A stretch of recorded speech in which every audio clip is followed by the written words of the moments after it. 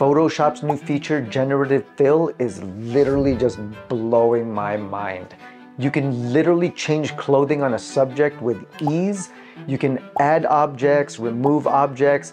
You might have a subject that's off-centered. You can recenter it, and with Generative Fill, the AI fills in the rest of the picture. But the way it does it, it's just really amazing. But enough talking, my name is Shy. Let's jump right in.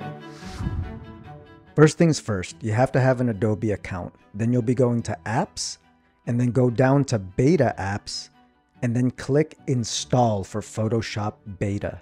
And once it's done downloading, click open and then you're in. So for our first image, I want to change that white t-shirt into an actual suit.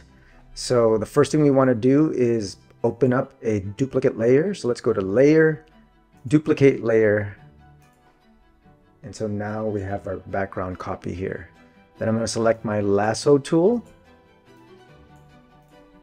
And I just want to draw around the t-shirt and arms where I want the suit to go. All right, so the way this works is once you've drawn around, you want to hit generative fill and let's just type in suit. Let's keep it real simple and then click generate. So while that's working, once it's completed, it's going to give us three options. So let's see, let's see how good this thing looks. Ah, pretty cool. Now, I noticed the arm here on the left looks funky, but the right arm here, uh, the arm here on, or his left arm looks pretty cool. But you do have three options. So let's select here. Not bad. How about the last one? That's just really weird. So let's select that first one. I think that one's pretty cool. You can redo it. So let's say, for example, I just want this hand and this arm fixed. I'm just going to draw around here. And then generate fill again. I'm not going to put any prompt. I'm going to hit generate again. And let's see if it fixes that arm and that hand. Huh, a little better. Let's choose a different one. Option two. Option three. Not bad. I'm gonna move this down. So what we started off with was that t-shirt. And once we put the generative fill, ended up with this. Could be a little better on the hand there, but overall, I mean, we went from a t-shirt to a full-on suit. That is pretty amazing. So now I'm going to jump into my next image. I do already have the background duplicate layers set up for my other images. So I'm just going to jump right in. For this photo, I want to add objects. So I'm going to pick like a necklace. I think maybe that's what's missing on this photo. So I'm just, just going to select my lasso tool again. And depending on how you want the necklace, if it's like a small choker or a long necklace, you want to make sure that you're actually drawing to how you want that necklace to be shaped. So I want it semi-low up to the edge of the neck here. And that's good for me. So now I'm going to click generative fill again.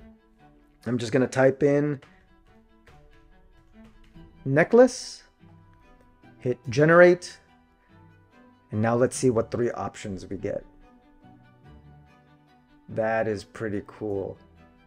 You could even see like the light hitting here is brighter on the edge of the necklace. So the AI is like blowing my mind right now. So let's see, there's three options. This is option two, option three. This one looks a little fake. But again, just adds the object in there for you and takes into account the lighting as well. If you notice on this side, it's a little darker because there's no sun hitting there. So I think that's just amazing. Let's also add a watch maybe. Let's just add a watch. Hit generate again. And let's see if the AI can put in a watch in there. And let's see how clean it looks. Whoa, not bad. Let's see option two, option three, kind of like option two there. And again, if you notice, there's not too much light hitting it, so it really takes into account what the lighting is also hitting in the photo, which is pretty crazy. All right, so now for our next Im image, we're gonna actually remove an object. So I already have my duplicate layer in there, still using my lasso tool, and I don't want this guy in there, let's say. I just want the lion, and I'm just gonna draw around him. You know, previous versions of Photoshop, you might use content aware, you might do a bunch of different things to remove them, and then try to fill in the, the lion. But let's see if we can remove him and see what the AI puts in there. So I'm just going to draw around. All right. So I'm going to hit generate fill. Generate. Let's see how clean I can remove this guy out of this photo. Yeah. See, that's what trips me out about this and how good this thing is. It removed the guy but it took into account to draw in the lion's legs here, the feet, his hair on, on, on the face, and also the rocks and the dust here. So really, really crazy stuff going on here. Next photo, you might want to recenter and recrop this. So I'm gonna now click crop. And so I want to recenter here, but check this out. But I also want to add a little length to the bottom of the photo, maybe up to here. And then I'm going to click my selection tool here.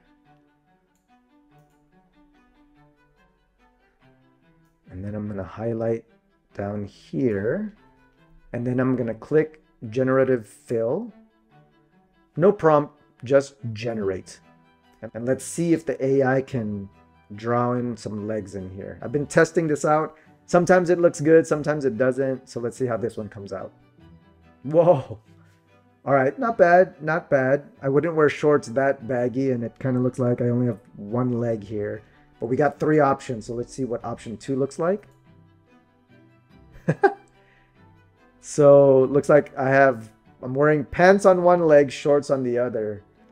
Let's see if the third one looks best hmm, not bad. I think my girlfriend's leg here looks too big and mine look too skinny, but overall not bad. I think as the AI gets better, this will probably improve in time. But still blows my mind that it's actually throwing in and drawing in some legs in there and putting that image in there. So in itself, that's that's pretty amazing. All right, and the next photo, I want to now change this from not just a vertical photo, but I want it to be horizontal in landscape. So let's see if we crop and move the crop out. Let's see what the AI will do to fill in this image. Let's go a little wider. So I'm going to highlight in here and make sure you bleed into the actual photo so the AI can read in there. I'm on a Mac, so I'm going to hit Shift so I can select both sides. There you go. So we got both sides. Hit generative fill. No prompts. I just want to see what the AI does. Not bad. Not bad. So I really like the left side here. This looks natural. It looks like the restaurant I was actually in. Hmm, I'm not too sure what's going on on the right side. I don't know what this is here uh, at the window. Let's see what the second option looks like pretty cool. So this still looks cool here. This looks a little bit more, uh, a little bit more realistic to what it was like when I was there, but kind of some distortion here. Let's see if third one's a charm. Nah, not, not too cool. I'll take that second one. All right, not too bad. It's not perfect, but I think as the technology gets better, it's probably going to improve in time.